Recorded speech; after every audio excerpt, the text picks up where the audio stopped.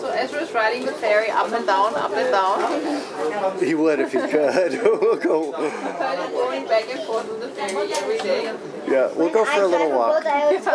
We have like a special pass, an Ezra pass. Yeah, we should get one. We should get the Ezra pass. How is he telling you? Boat, boat, boat, Exactly. yeah, boat, boat, boat, Boat, boat, boat, boat, boat, boat, boat, boat, boat, boat. I'm not gonna So funny. Is so like so many boys have things for boats, trains. Yeah. Well, he likes trucks almost as much. Truck- trucks, Almost yeah, as yeah, much. Yeah, yeah. But mostly boats.